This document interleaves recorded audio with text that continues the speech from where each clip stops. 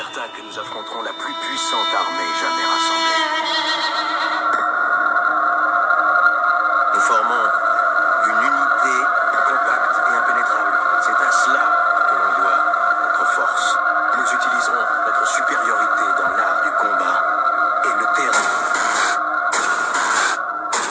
Nous sommes des Spartiates